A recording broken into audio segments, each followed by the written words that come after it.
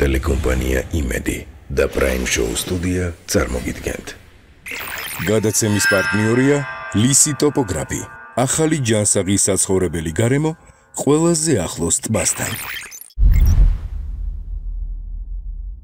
მე ნიუ-იორკში ვიმყოფები. სტუმარი, რომელიც ცოტა ხანში შემოგვიერთდება, პირადად ჩემთვის განსაკუთრებულია, რადგან მე ცეკვავენ ვარსკვლავების პირველ გამარჯვებულს, სამორი ბალდეს ველოდები. სამორი ბალდე იქნება ჩვენი დღევანდელი რესპონდენტი, რომელსაც წავიყვან ქართულ რესტორანში ოდა ჰაუსში, რომელიც მანჰეტენზე მდებარეობს, აგრეთვე ბრუკლინშიც არის, თუმცა ჩვენ ახლა მანჰეტენზე ვიმყოფებით, მე უკვე ვიყავი და არაჩვეულებრივი გარემო, ძალიან კეთილგანწყობილი პერსონალი, ძირითადად ქართველები დაკომპლექტებული და რა თქმა უნდა, ხარისხიანი სამზარეულო დაკვდება.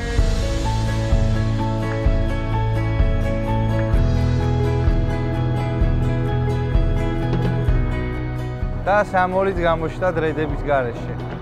აბა, როგორ გიკითხო ბატონო? კეთილი იყოს, კეთილი იყოს თქვენი ფეხი. გაიხარე, რამდენი წელი გავიდა სამორ? 8 სულ ცოტა. განსაკუთრებული ემოციები მაქვს სამორის მიმართ, იმიტომ რომ ძალიან ბევრი რამ გავიარეთ ჩვენ ერთად და ის პროექტი, რომელიც დღესაც ეთერშია, პრაქტიკულად ფეხი აიდგა ჩვენთან ერთად, ხო? ყველაფერი ერთად გავიარეთ, ერთად ვისწავლეთ ამის კეთება და მაშინ დავმეგობრდით. და დღეს ამორი ნიუ-იორკში. ნამდვილად, ჩვენ აგრძელებ კლავ იმ საქმეს, მე ცოტა სხვა გზა ავირჩიე. მე ვიცი ძალიან ბევრს გაუხარდება შენი ნახვა და ჩვენ შეგვიძლია შევიდეთ უკვე ოთახაუში და დავიწყოთ ჩაწერა.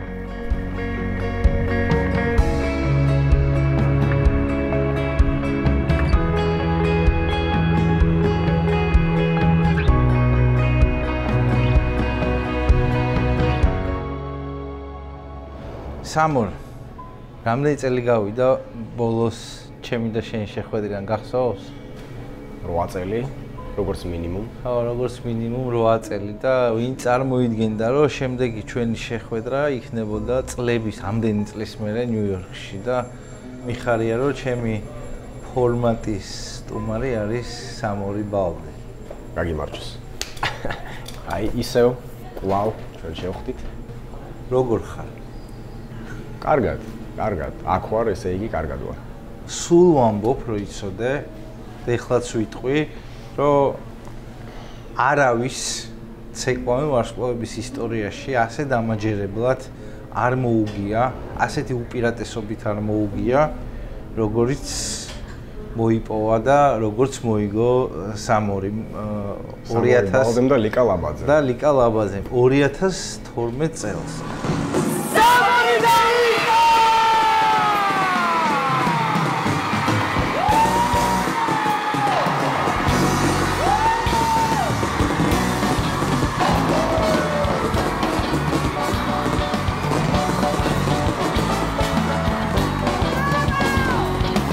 როგორია შენი ყოველდღიური ცხოვრება ნიუ-იორკში და რამდენი წელია რაც აქ იმყოფები? ხო, 7 წელიწადზე მეტია უკვე რაც აქ ვარ.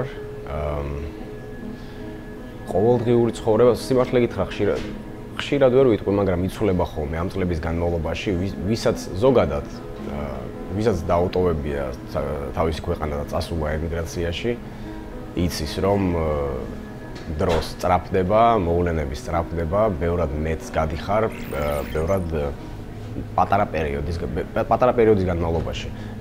შეიძლება ისე ითქვა, ისეც ითქვას, რომ უფრო მე ცხოვრებას ცხოვრობ, ასე ვთქვათ. სანამ ჩაწერას დავიწყებდი, შენ მითხარი, რომ 9 სიცოცხლე ვიცხოვრე.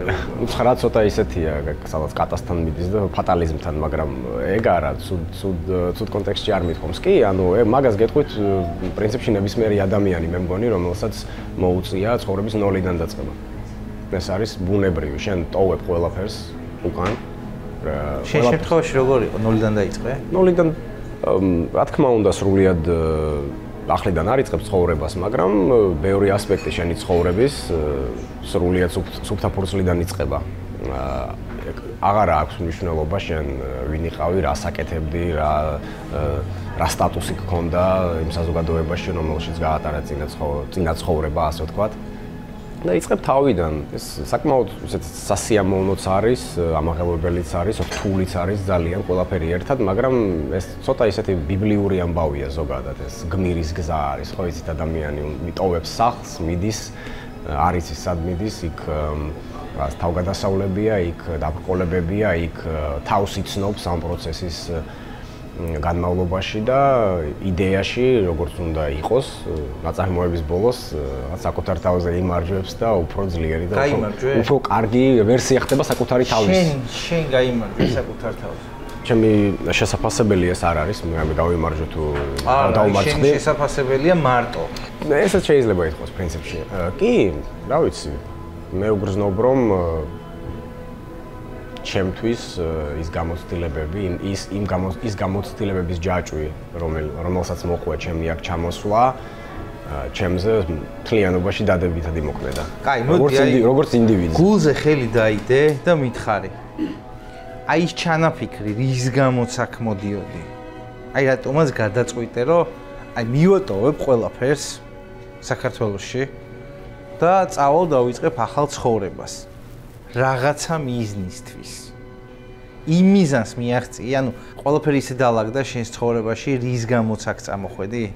მე კონკრეტული მიზეზი სიმართლე გითხრა არ მქონია, არისო ისე საკითხი საკითხი არისო დასმული ისე რომ მე მინდა წავიდე იქ და მივიღო ეს. ეს იყო უფრო ღია. აბა რა კითხვა, ღია კითხვა, უბრალოდ მე რაღაც ინტუიციის დონეზე და ზოგადად შინაგანი განცდის დონეზე ვგრძნობდი რომ უნდა გადამედგა ცოტა უფრო ისეთი პოეტრი ნაბიჯი ცხოვრებაში და რაღაცა უნდა შემეცვალა, იმიტომ რომ რატომღაც გრძნობდი რომ ცოტა სტაგნაციის ესე იგი ეტაპში შევაბიჯე იქ ჩემი ყოფნისას. თუმცა ყველაფერი კარგად მქონდა, ვერაფერზე დავიწუწუნებ ნამდვილად. უბრალოდ არ გენატრება საქართველოს დრო მოვიდა. საქართველოს როგორ რა თქმა უნდა მენატრება თავისთავად. აი რა განატრება ყველაზე მეტად? პირველ რიგში ადამიანები ადამიანები ურთიერთობები, მეგობრები, რომლებიც იქ დამჭა, რომლებთანაც კვლავ მაქვს ურთიერთობა. და ეს არის რაღაც მომენტები, რომლებიც გაკავშირებს იმ ადგილთან, სადაც გაიზარდე და სადაც გატარებ ცხოვრებას. ვინ არის ეს ადამიანები, ვინც ყველაზე მეტად გენატრები? რა, პირველ რიგში ოჯახის წევრები, რა თქმა უნდა. ბებია ჩემი, ბაბუა ჩემი სამწუხაროდ გარდაიცვალა ჩემი აქ ყოფნისას და ვერ მოახერხე ისე ნახვა. ეს ერთ-ერთი ისეთი წერტილი ცოტა მძიმე წერტილია ჩემთვის, რაც მოხდა. აი ესეთი პატრიოტი კაცი რო წამოხვედი ქვეყნიდან იმყოფები ემიგრაციაში. ყოველნაირი გადაჭარბების გარეშე რაც ყოველთვის ქონდა და სულ იგრძნობოდა. ფიქრობ თუ არა რომ შეიძლება მალე დადგეს დრო, როდესაც პირიქით მოგინდეს უკან დაბრუნება. ხო, როგორ არა? ნეტაო დიდი იმედი მაქვს რომ ასე ასეც იქნება. ეხლა ეს მთლად იმაზეც არ არის დამოკიდებული. რა თქმა უნდა ეს არის დამოკიდებული ქვეყანაში ქვეყნის მდგომარეობაზე ზოგადად, იმიტომ რომ მაინც ჩვენ რაც არ უნდა ვისაუბროთ რაღაც მაღალ იდეებზე ადამიანის ცხოვრება საკმაოდ მოკლე არის და ჩვენ ვცდილობთ მაქსიმუმი მივიღოთ ამ ცხოვრებისგან და მაქსიმალურად გავაზიაროთ ეს ჩვენი ცხოვრება იმ იმ ადამიანებს გაუზიაროთ, ვინც ყველაზე ძვირფასია ჩვენთვის და ჩვენ შვილებზე ვფიქრობთ, მათ მომავალზე ვფიქრობთ, მათ განათლებაზე ვფიქრობთ, კეთილდღეობაზე და ასე შემდეგ, მაგრამ ყოველთვის არ არის საშუალება იმის, რომ იმყოფებოდე იქ, სადაც ყველაზე მაგრად გინდა. იმ მომენტში ხანდახან საჭიროა, რომ იმუშაო გააკეთო რაც არის საჭირო. ხო და ეგ უნდა კითხო ეხა და უბრუნდები იმ 9 სიცოცხლეს რა. რა გზა გაიარე დღემდე ამერიკაში? ოღონდ ზუსტად მომიყევი აბსოლუტურად თავისი სირთულეები, თავისი ემოციურობით, თავი თუ გინდა თავის სიმარტივით. სად მუშაობდი? ა სამსახური კი, საკმაოდ რთულ სამუშაოსაც ვასრულებ. მაგალითად, შენებლობა, ავეჯის გადაზიდვა, რესტორანში, ზარეულობა, თებშების რეცხვიდან დაწყებული ინსტალაცია, სხვადასხვა პროექტებზე მუშაობა. აქ რო ჩამოდიხარ, საერთოდ ეგო უნდა დატოვო იქ შემოსასვლელში, კართან აი ეს, აიო, დადო. საზღვარს. საზღვარზე უნდა დადო ესე და შემოხვიდე რა. პრინციპში მე არ მქონდა, არ მქონია არანაირი პრობლემა.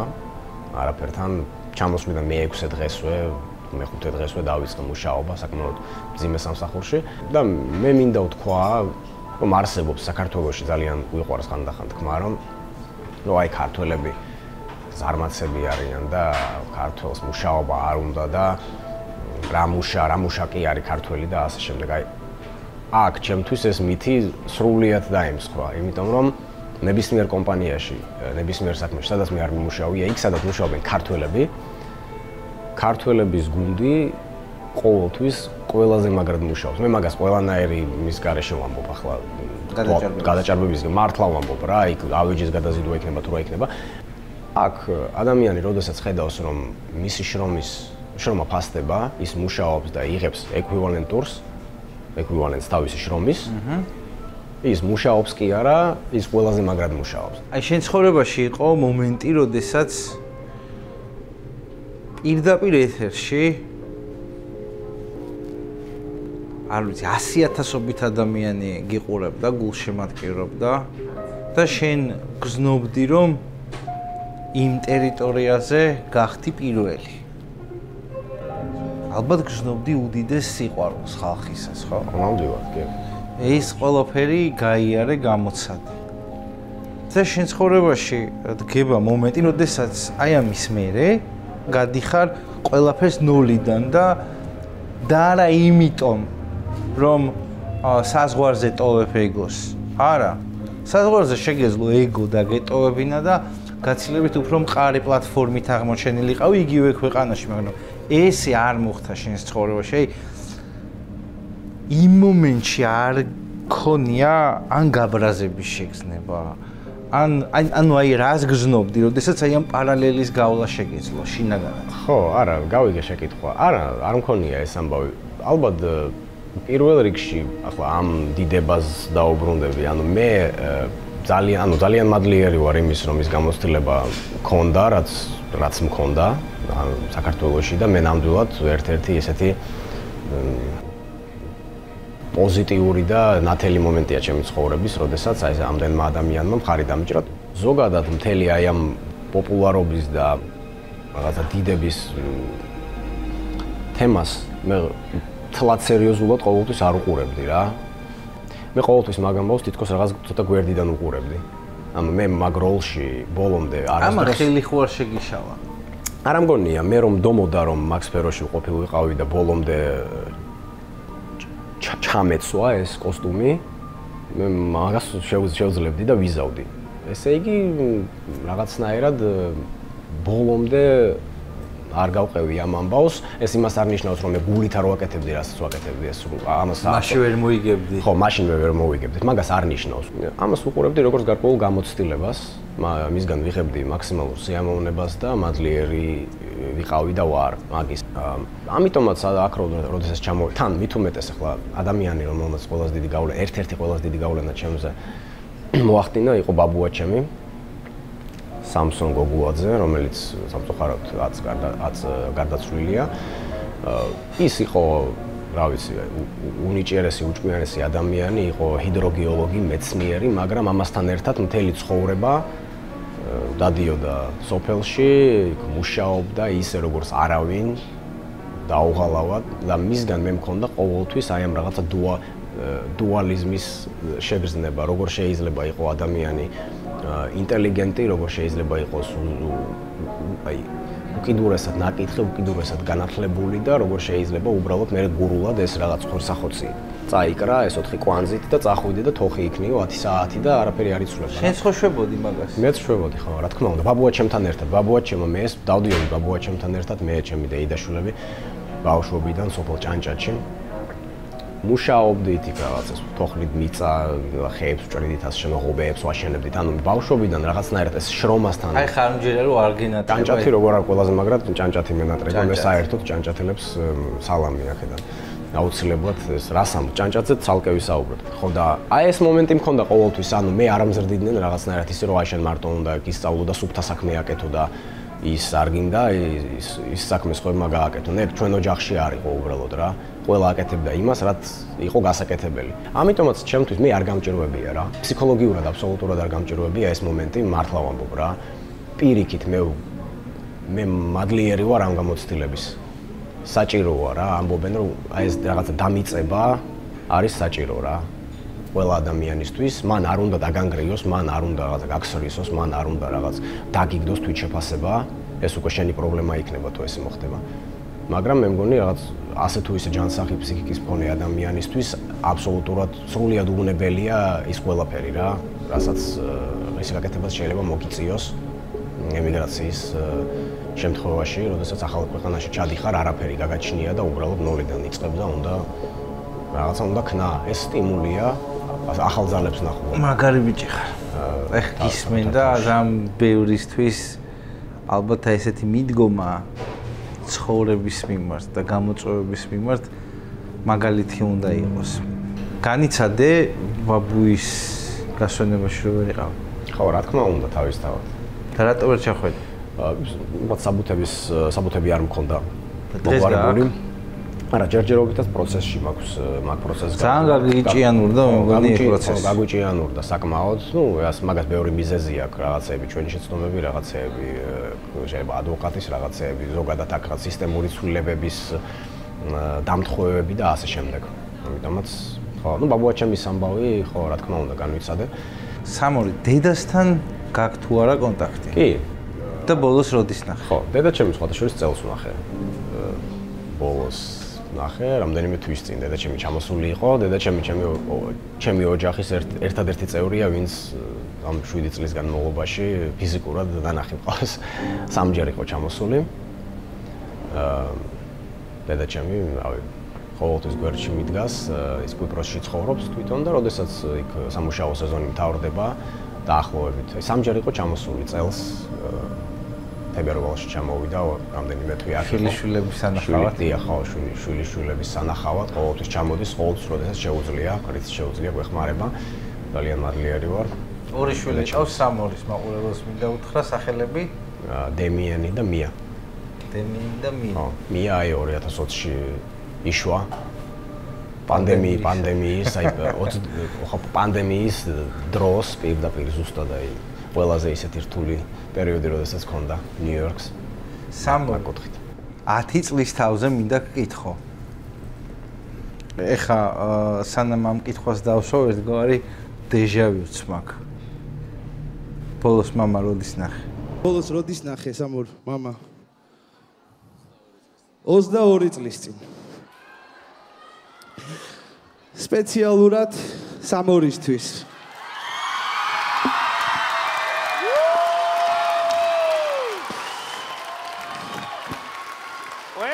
სპეციალურად ამ შოუს ცისანგორის მამა ინესა ბალდე გვინეა ბისაუდა.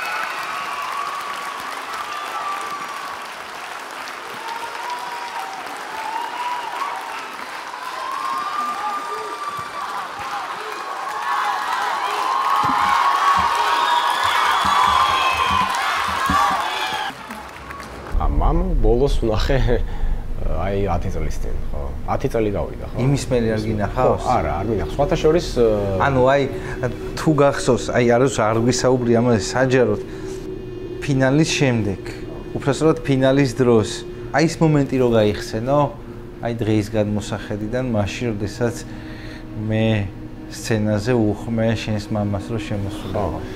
ინუსას. ინუსა, ხო. კი, ახლა მამა ჩემთან მაქვს ურთიერთობა. უშენ წინას დამირეკა. ხო, მაგრამ აი ეს მომენტი რო გაიხსნა.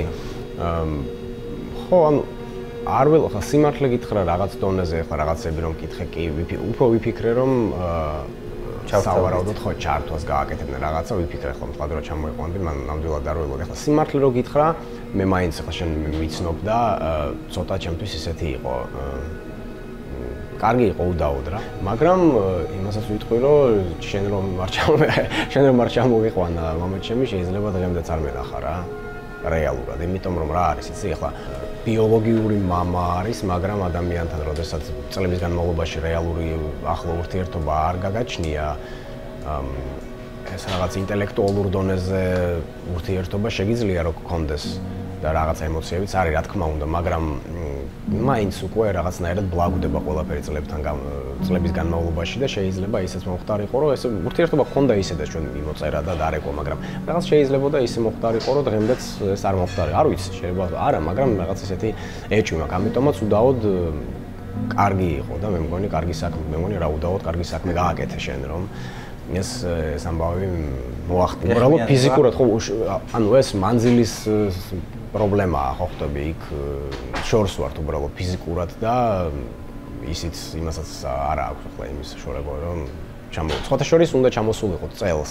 სხვათა შორის რამდენიმე თვის წინ დამიკავშირდა მეუბნებოდა შეიძლება რაღაც საქმიანი ვიზიტი ქონოდა ამერიკაში და მე ნახა არ ვიცი ნახოთ ახლა თუ ჩამოვა. მაგრამ კი ურთიერთობა გვაქვს და ჩემ დებთან და ძმებთან. მე იქ 6 დაძმა მყავს იქ. რომელთანაც რამდენიმესთან უფროსებთან მაქვს ურთიერთობა და რა ვიცი, კარგი ბავშვები არიან და იმ უდაოდ, ანუ იმ პრეცედენტის შემდეგ უფრო დავახლოვდით, რა თქმა უნდა, იმიტომ რომ ახლა ადამიანს რომ შეხვდები ეს ყველანაირ ზარს, SMS-ან შეტყობინებას ყველა ვარიანტში აღემატება რა, ემოციურ დონეზე და სხვანაირ კავშირს ამყარებს ადამიანებს შორის, ამიტომაც ეხა მოვუტევი შენს შვილებს. ო, ამხელები არიან და როგორები არიან? ხო, კარგები არიან, რა ვიცი, ახლა მშობელს რო შვილებზე ეკითხები. მოყევი და ახასიათი. რავი, დემიანი 6 წლის არის. არის ისეთი, როგორც მე ბავშვობაში არ ყოფილ ვარ, არასდროს მე ვიყავი და ვარ ძირითადად ინტროვერტი უფრო. ჩაკეტილი ხარ შენ საკმაოდ. ვარ, კი. ჩემი შვილი არის, აი, რა როცა იტყვიან social butterfly. ანუ ნებისმიერ ადამიანთან ნებისმიერ ადამიანთან უპრობლემოდ ნახულობს საერთო ენას მიდის ქუჩაში უცხო ხალხთან ესალმე. ეს ასე არის უბრალოდ და მიხარია ძალიან, ეს ძალიან კარგი თვისება არის რა. დემიენი. კი, გახსნილია ძალიან და ზოგადად ცხოვრების ქართულიცია? კი, ქართულად საუბრობთ სახლში, ხო? ანუ აქ ხა ინგლისურს ინგლისურს ყველა ვარიანტში ისწავლიან. სკოლაში დადის და იქ ინგლისურად არის სწავლა და ჩვენ ყველანაირად ვთქვით რომ ენა ვიცოდეთ. კარგად. ხო, პატარა ჯერჯერობით მე კარგად ვერ მეტყველებს, ის ისიც სერიოზული პიროვნებაა. ის არის საკმაოდ სერიოზული პიროვნება, ისეთია რა. ასე ვთქვათ, ღირსების შეგრძნება, დაკوeba რა, ეგრევე დაბადებიდან. მაყურებელს კი კვლავ შევახსენებ, რომ ჩვენი გადაცემის უცვლელი პარტნიორია კრედო ბანკი, რომელიც თავის მომხმარებელს მაღალი დონის პრივილეგირებულ სერვისს კრედო რჩეულს თავაზობს. კრედო რჩეულის მეშვეობით თქვენ შეგიძლიათ ისარგებლოთ როგორც პირადი საკრედიტო ოფიცრის, ასევე ინდივიდუალური ბანკირის მომსახურებით. გახდით კრედორ ჩეული და მიიღეთ ყველაზე მაღალი დონის საბანკო სერვისი. გაცვია მაისური, სადაც უკრაინას გახატია და ჩვენი ქვეყნის ესე ვთქვათ დროშა თავისი გეოგრაფიული გამოსახულებით. მინდა გამოვიყენო ეს შანსი და სამძიმარი უთხრა უკრაინაში დაღუპული გმირების ოჯახს და ახლობლებს მათ უზენაესი ფასი გადაიხადეს თავისი ქვეყნისთვის და დიდი მადლობა მათ, ვინც აგრძელებს ბრძოლას, უსურვებს სახლში ჯანმრთელად და დაბრუნებას და დიდი დიდი მადლობა სულეთყვი იმათ მათ იმის გამო რომ ჩვენი ქვეყნის თავარ სათქმელს ყველაზე ხმამაღლა ამბობენ იქ, სადაც ყველაზე საჭიროა ის დღეს. და ჩემ უკრაინელებს, ჩემ ბებია ჩემი არის უკრაინელი. ამიტომაც დედა ჩემი უკრაინაში დაიბადა, დონ დონბასში. ახლა ოკუპირებული არის ეს რეგიონი. და ამიტომაც ჩემი ოჯახისთვისაც კერძოდ ჩემი ოჯახისთვისაც ძალიან მნიშვნელოვანია ის რაც ხდება უკრაინაში დღეს. мои украинские друзья разом переможемо. Дякую вам щиро за важку боротьбу. Україна була, є і буде. Крим це Україна, Луганськ це Україна, Донецьк це Україна. Народ Грузії з вами. Слава Україні! მე მეგონა რომ კარგად გიცნობდი და სინამდვილეში არ ვიცოდი იმის შესახებ რომ უკრაინული ესე კარგად იცი თუ მე კარგად არ ვიცი მაგრამ ვიცი ყველაზე მთავარი საკითხი ახლა ამას რა თქმა უნდა საუბარი ადამიანები იბრძვიან ჩვენი საუკუნოვანი მტრის წინააღმდეგ. აფხაზეთი უდაოდ საქართველოა, სამაჩაბლო უდაოდ საქართველოა, რუსეთი უდაოდ ოკუპანტია და დიდება საქართველოს მე ჯერა ნათელი მომავლის ჩვენი ქვეყნის იმის და მიუხედავად მე როდის და სად ვიმყოფები მე ყოველთვის ვცდილობ რომ წარმოაჩინო ჩვენი ქვეყანა ღირსეულად გავაცნო ჩვენი ქვეყნის კულტურა ყოველთვის უყვები ადამიანებს აქაურ ადამიანებს ვისაც კი არ უნდა შეხვდე ჩვენი ქვეყნის შესახებ ვაცნობ ჩვენ კულტურას და მე ვფიქრობ რომ ეს ერთ-ერთი ისეთი მნიშვნელოვანი საქმეა და ყველაზე მინიმალური საქმეა რაც შეიძლება ადამიანმა საქართველოსდან გააკეთოს თავის ქვეყნისთვის. ეხა ისევ შენ მაისურს დავხედე და გამახსენდა რომ შენ 2008 წელს იყავი ომში. ომში კი, ვიყავი. აი მოყევი ამ რეზერვისტად წახვედი, ხო? თუ არ კი, მე გავიარე ორი შეკრება, ანუ ეს იყო პირველი ნაკადი. პირველ ნაკადში მოხდი რეზერვის. ორჯერ აა ჯავახი უნივერსიტეტში ვსწავლობდი მაშინ ეს ერთ ანუ ერთი წელი სამხედრო კათედრა გავიარე, მე გაუფრინდა კათედრები და დაინიშნა ეს რეზერვი, რეზერვის სამსახური გავიარე ორჯერ და ნუ რა ვიცი 2008 წლის 8 აგვისტოს დილით მე და ჩემი ძმაკაცი მივიდოდით ბათუმში. Amazon-იდან მქონდა გამოწერილი ახალი ასაცმელი, რაღაც შორტები, ბოტასები, ყუჩი, ერთი ერთი ორი თვე მედო იქ და მეთქი ბათუმში წავალ და იქ ჩავიცმევ რა. და ამერიკა დილით, ანუ ვიცი რომ ბათუმში მივდივარ, დილით ამერიკას ჯგუფელი. ბალდე ომი დაიწყო. კი და ომი დაიწყო, მე ტელევიზორს არ უყურებ საერთოდ და ო დაიწყო, დაიწყო, ახლა გასაგებია, წავედით ესე იგი მე და ჩემი მეგობრები კომისარიატში იქ როგორც როგორც რამდენიმე საათში უკვე ვაზიანში ვართ. იარაღს ვიღებთ, ეს ის დროა, როდესაც ვაზიანი დაიბომბა, მანდ ვიყავი ვიდექი ტყვია წამლის ასაღებად ანგარში და ეს მტვერი ჩამოგვეყარა თავზე და უკვე უკვე მანდ მივხვდი, რომ ეს არის რეალურია ეს ყველაფერი. 8-ში საღამოს ჩავედით გორში.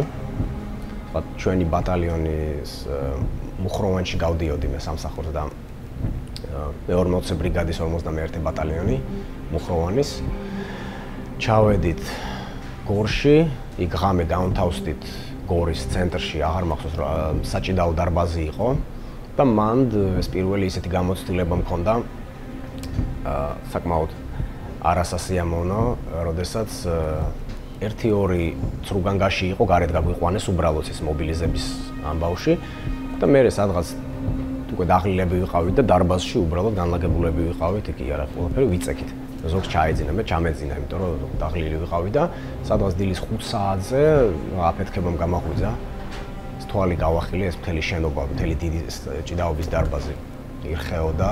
ჩემს უკან კედელი ჩამოინგრა მთლიანად, ჩემ გვერდზე ბიჭს გავხედე და რაღაცა კედელი დაეცა და ნუ რაღაც კინოში აღმოჩნდა უცბად იქ ხალხი გარბის, იქ ვიღაცა რაღაც წეოს რაღაც გაუგებრობა ხდება მოკლედ.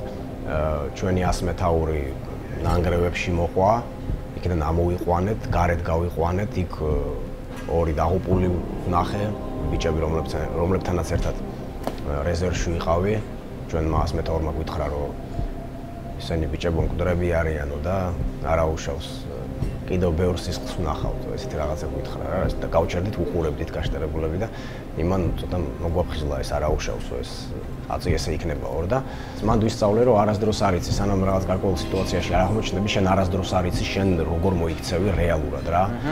ასეთი წნეხის დროს და ნუ მოკლედ მოყვები ახლა იქ მოყევით ეგ იყო პირველი მე მოყევით დაბომბებში ეს ყველაფერი გამოვიარე ჩემი თვალით მაქვს ნანახი როგორ ფეთქდებოდა საცხოვრებელი სახლები აი ესე უყურებდი აი ესე გავრბოდით, იბომბებოდა გორი ჩვენ ქუჩაში გავრბოდით და გავიხედე და რაღაც ექვსსართულიანი შენობა უბრალოდ აი გაქრა, ეს მის მაგიურად ესეთი ცეცხლის სოკო ამოვიდა და ესე უყურებდი, მეთქი ნუ რა ხდება. მე ხაშურის მილიციის სპეცრაზმის ბიჭებთან მოვიკითხავ რაღაც სანგარში ვისხედით, მე დღის მეორე ნახევარი იქ მძიმე ბომბარდირება ხდებოდა, იმათგან ვიღებდით ინფორმაციას და მე აირია ძალიან სიტუაცია და ვიღაცები ფრონტზე წავიდნენ, ჩვენ უნდა წავეყვანეთ ტყვიავში, ერთ-ერთ სოფელში. რაღაც დავალების შესასრულებლად. მაშინ როდესაც ჩვენ იქ მოგვიყარეს, ანუ სადაც ჩვენ შევიკრიბებოდით, ის ის ადგილიც დაიბომბა. და მე ყველაფერი ისე აირია, რომ აი ზედამხედველებს ვეღარ ვნახულობდით, დიდი ქაოსი იყო და მოკლედ 3 დღე გავატარე მან. ანუ 8 9 2 2 დღე ნახევა. 9 და 10-ში ღამე, ანუ 10-დან მე 11 11-ზე უკვე რაღაცნაირად იქიდან წამოვედით, როდესაც უკვე ვიცოდით, რომ ჩვენებმა იქ დაკარგეს სოფლები და უკან დაიხიეს და უკვე გასulis დრო იყო. მე მტერი პირისპირ არ მინახავს და უშუალო ბრძოლაში არ მიმიღია მონაწილეობა, მაგრამ რავი, სიკვდილი ნახე და ომი რა არის ზოგადად და ეს ჭუჭრუტანიდან დავინახე რა. დღეს სად მუშაობ?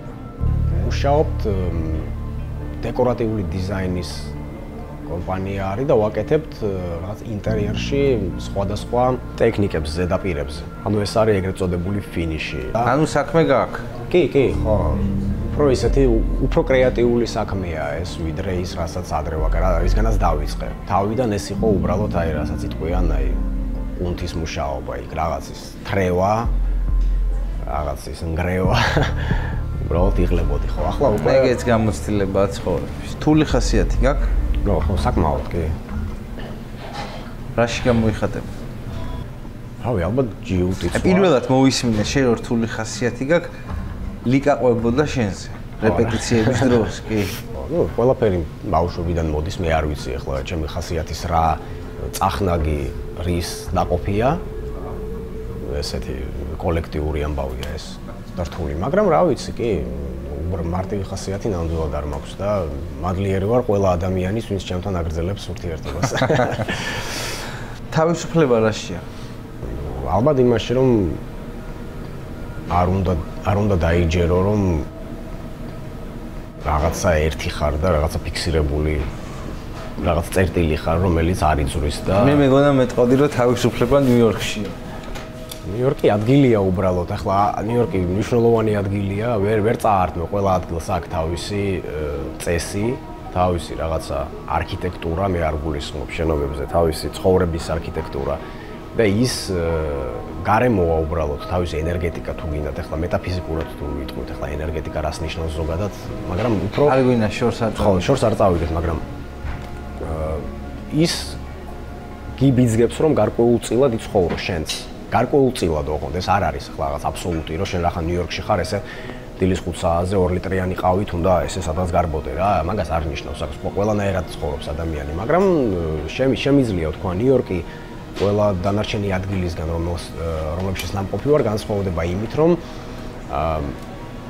ეს არის ეკლექტიკურია ძალიან. ძალიან სხვანაირია სხვადასხვა ისეთია როგორც გინდა რომ იყოს ყველანაირი უბანი არსებობს, ყველანაირი ადამიანი ცხოვრობს და ის არ გიბიძგებს რომ იყო რაღაცნაირი ერთნაირი. სანამ ჩვენ ინტერვიუ მიდის, პარალელურად მიდის ხვალ არის სხვადასხვის ეთერი. აა ცეკვენ ვარსკვლავების მე-11 სეზონის. სამ კითხვას გისვავ ერთ კითხვაში რომ მოკლედ გითხრა. პირველი, რა გახსენდება? როგორ გახსენდება აი დღევანდელი გადმოსახედიდან? მეორე, უყურებდი თუ არა მომდევნო სეზონებს, მაშინ როცა შენ აღარ იყავი და მესამე დღევანდელ დღევანდელ მონაწილეებს რას უსურვებდი და რა რჩევას მისცემ. ხო, რა მახსენდება პირველი? ხო, რა მახსენდება? როგორ გახსენდება? როგორ მახსენდება და ეს პრინციპში მაშინაც აი უკვე ფინალისკენ რომ მიდიოდა საქმე და როდესაც რეალურად ხედავდი რომ მქონდა შანსი გამარჯვების აა ფიქრობდი რომ ეს ალბათ ერთ-ერთი ისეთი კარგი მომენტი იყო ჩემ ცხოვრებაში, როდესაც რაღაცა ვიშრომე, რაღაცა გავაკეთე და შედეგმაც არ დააყოვნა. აი, კარგი გამოცდილება იყო ის, რომ რაღაც ყველაფერი ამ პერიოდის განმავლობაში ლოგიკურად წარიმართა. თითქოს მე უგრძნობდი რომ მე ყველაფერს ვაკეთებდი, ბევრს ბევრს შრომობდი და ბოლოს შედეგიც ლოგიკური იყო. შეიძლება ვიღაცისთვის არ იყო ლოგიკური, მაგრამ ჩემთვის მე უგრძნო, მე ხო ბოლოსკენ გრძნობდი, რომ მე შემიძლია რომ გავემარჯვო და არ იქნებოდა ურიგო და რომ რომ რომ გამემარჯვა არ ვიტყოდი რომ არ არ მექნებოდა ესეთ შეგრძნება რომ მე ის რაღაც მე გამიმართლა. იმიტომ რომ მართლა ახლა ვისაც ვინც გვადევნებდა ეგ თვალყურს და ვინც შიგნით იყო TBC TV-ს გუნდი და ეს შიდა სამზარეულო ვინც იცოდა ყველა მიცის რომ იქ რა ვიცი, დღეში 10 საათი, თუ ხანდახან მეტი არა, რეპეტიცია ყოველ დღე, ანუ იქ დიდი შრომა ჩაიდო ძალიან.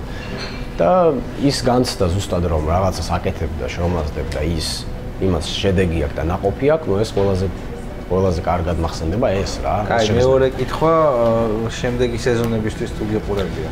სრულიად არ მიყურებია. მე ზოგადად ტელევიზორიც არ მაქვს სახლში და საქართველოსშიც არ მქონდა. მე ჩემი თავი სადმე თუ ყოფილვარ და ნახი ნახიც არ მაქვს ძირითადად. ხო, მებია ჩემს რო არ გადმოეწერა ჩემი ცეკვის ვიდეოები და რო შეეღონებინა ყველა მაგასაც ხშირად ალბათ არ უნახავდი რა. მე მე რაღაცნაირად უფრო ისე ვარ, რომ რაღაც რო გავაკეთებ, მინდა რომ ის იმას გავანებო, თავი გაუშვა და გავაგზავნო გზა რა. აი, რა რჩევას მისცემ მეხლანდელ მონაწილე?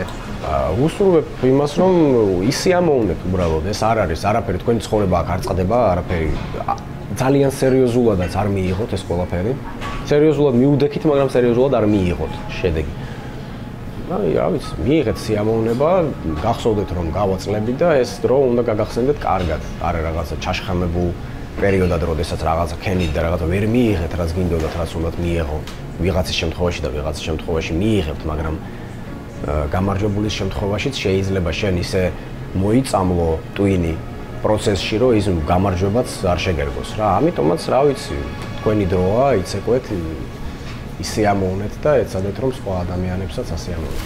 ლიკასთან თუ გაქვს ურთიერთობა? კი, კი, ხშირად სხვა აქ არის სხვათა შორის ლიკას. ხშირად არ ვერ ხვდებით, იმიტომ არა რომ ცუდი ურთიერთობა გვაქვს, კარგად, კარგი, ჩვენ ყოველთვის გადასარევი ურთიერთობა გქონდა, მეგობრობთ. უბრალოდ, რავი, ზრდასრული ცხოვრება, ოჯახური ცხოვრება, ხანდახან ნახულობთ, კი. ხვდებით? ლიკა იყო პირველი გამარჯვებული, შენი მეწყვილე რომელმაც საერთოდ არ იცოდა სამეჯლისო ცეკვები. ხო, საერთოდ იყო ბალერინა, ხო? კი, ანუ ჩემთან ერთად სწავლობდა ყველაფერს, კი, პროფესიონალი პროფესიონალი. ამხანაგებო, მაგრამ სამეჯლისოს მოცეკვებს პირველ სეზონში მოუგო. მოუგო ყველას, კი. ეწყინებათ ეხა, მაგრამ არ უნდა ეწყინოთ, რატო რატო უნდა ეწყინოთ? რაც მოხდა, რაც მოხდა, მოხდა. ფილიში ყავს ბებია. კი, ბებია ჩემი. რას ეთყოდი ახედა? ბებია ჩემი ძალიან მიყვარს. ხო ბებია ჩემო გამზარდა. ძალიან მткиცე ხალბატონია, საკმაოდ ხისტი და საკმაოდ ძლიერი. ხო ბებია ჩემს ქართულად ვერ მიმართავ. ხო. Кохаю, люблю моя бабуся, моя украинская бабуся.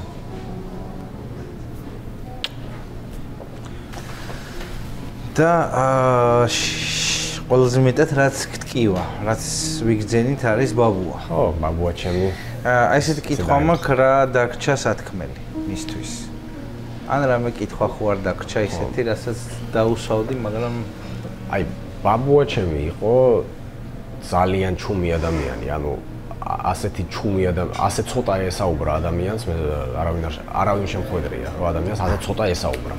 და უბრალოდ გული მწყდება, რომ თან ახლა რა გრძელი ცხოვრება იცხოვრა და ძალიან საინტერესო ცხოვრება და უბრალოდ აი გული მწყდება რომ უფრო მეც არ ვესაუბრებოდი ზოგადად რამე ერთ შეკითხვაზე კი არ მაქვს საუბარი აი რატო არ ვეკითხებოდი უფრო მეც?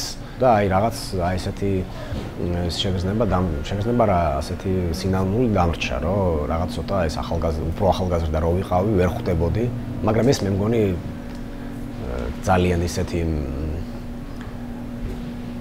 ხშირი მომენტია ცხოვრებაში ადამიანის ცხოვრება.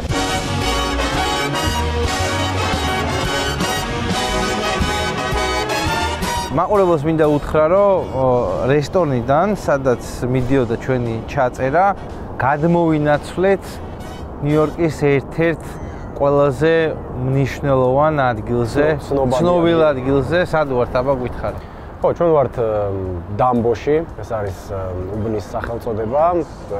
ხო, ნამდვილად ძალიან ცნობილი ადგილია, აქედან იშლება ეს ხედი, ყოველთვის ძალიან ცნობილი. სკაილაინი ეგრეთ წოდებული, ამ პანორამა ღამის მანჰეტენის. რა თქმა უნდა, აგერ თავისუფლების ხანდაკება ჩვენ ზურგს უკან, ხო, ანუ აი ყველაფერი რაც დემოკრატიასთან, ღირებულებებთან, თავისუფლებასთან ასოცირდება. ვიცით რომ ამ ქალაქშია. შენ რამდენად თავისუფალი ხარ აქ და რამდენად გაგიმართლა ნიუ-იორკმა იმედები? ვფიქრობ კი არა, ნამდვილად ასია, პროცესში ვარ. ეს გზა არ არის დასრულებული, მაგრამ მე ნამდვილად ვფიქრობ, რომ ბევრი ძალიან ბევრი რამ ვისწავლე აქ და შედეგი შეგიძლია სხვადასხვანაირად შეაფასო და წარმატება ყოველთვის სხვადასხვა რაღაცას ნიშნავს ზოგადად. ზოგი ადამიანი შეიძლება იმასაც დაჯერებოდა, რაც მე უკვე მქონდა საქართველოში. მაგრამ ნუ ჩემ შემთხვევაში მე გადავწყვიტე რომ რაც უფრო მეტი გამოცდილება მჭირდებოდა ცხოვრებისეული და უფრო მეტი ასე პირადი გამოწვევა. ამიტომაც ნიუ-იორკი საკმაოდ კარგი ქალაქია იმისთვის რომ შენ რეალურად ნახო რის როგორც იტყვიან ნიუ-იორკელები what you made of რის რისგან რისგან ხარ დამზადებული ასე ვთქვათ. ყველაზე მეტად რა გენატრება შენ სამშობლოში? მე მენატრება გურია, სოფელი ჭანჭათი, ლანჩხუთის რაიონის. ეს არის ჩემთვის ყველაზე ახლო ადგილი ზოგადად და ადგილი რომელიც უკავშირდება ყველაზე აი რაღაც ნათელ და კარგ გამოცდილებებთან ზოგადად ცხოვრებაში. და ყველა ადამიანისთვის მაინც ბავშვობა არის სახლი, სადაც დაბრუნებას ყოველთვის ალბათ ქვეცნობიერების დონეზე ვცდილობთ. მაგრამ ყველას არ აქვს სამწუხაროდ ბავშვობასთან დაკავშირებით კარგი ასოციაციები სხვადასხვა მიზეზების გამო, მაგრამ მე გამიმართლა რომ მაქვს ესეთი ადგილი ასევე ასოცირებული ჩემ ახლობელ ხალხთან და ოჯახთან და ხო ნამდვილად სოფელი ჩანჭათი ლანჩხუთის რაიონის გურია ჩემი გურია არის ესეთი ადგილი ჩემთვის. აი, ბრუკლინის ხიდის ქვეშ მანჰეტენის ხიდზე სამორს ყველაზე ძალიან გურია და ჭანჭათი ენატრება და ჭანჭათელებს ალბათ განსაკუთრებით გაუხარდებათ ამ გადაცემის ეს ეპიზოდი. ჭანჭათელებს მოკითხვა. სამორ და ბოლოს როგორც გადაცემის თავში აღნიშნე შენ ძალიან დიდი რაოდენობა ადამიანის ყავდა და ყავს საქართველოსში გულშემატკივარი. მოდი მიმართე შენს გულშემატკივრებს. რა სეტყოდი აქეთ? კლაუ მე ყოველთვის ერთი და იგივე მაქვს სათქმელი ყველა ადამიანისთვის, ვინც რამეში თუნდაც რაღაც ემოციურად და რამენ ამენაერად დამხმარებია და ხარდაჭერა გამოუჩენია ჩემს მიმართ. დიდი დიდი მადლობის გარდა არაფერი მეთქმის, დიდი მადლობა ყველა იმ ადამიანს, ვინც შემიძლია ვთქვა რაღაც თვითშეფასების ამაღლებაშიც ითამაშეს როლი და მნიშვნელოვანი მოვლენა იყო ჩემ ჩემ ცხოვრებაში და ამ ადამიანებმა უდაო დიდი როლი ითამაშეს ამაში და დიდი მადლობა მინდა გითხრათ ყველას. და იმედია რომ თქვენ ყველაფერი თქვენ ცხოვრებაში არის ისე როგორც თქვენ გსურთ რა ვიცი ბედნიერებას გისურვებ მეობას და თუნდაც არ აქვს მნიშვნელობა ზოგადად. ნანახი გაქვთ თუ არა ჩემი ცეკვა მაგას არანაირი მნიშვნელობა არ აქვს.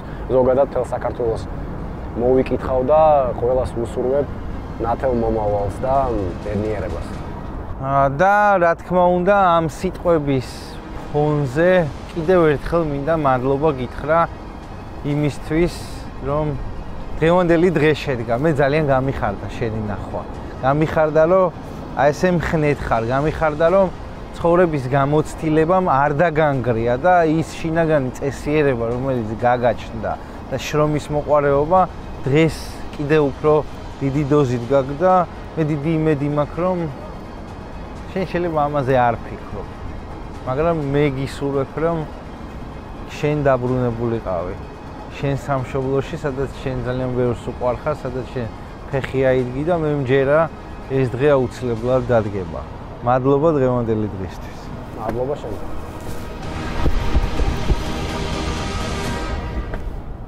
გადაცემის პარტნიორია ლისი ტოპოგრაფი. ახალი ჯანსაღი საცხოვრებელი გარემო ყველაზე ახლოს ტბასთან.